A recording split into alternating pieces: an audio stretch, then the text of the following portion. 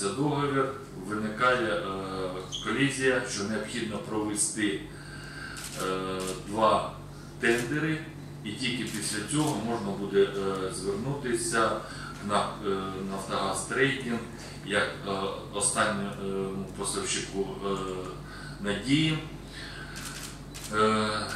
І для цього було запропоновано один із запобіжників і механізмів це е, на регіональному рівні е, провести засідання ТБНС і е, визначити надзвичайну ситуацію. Тобто це був як один із запобіжників для того, щоб потім на підставі отриманих уже експертне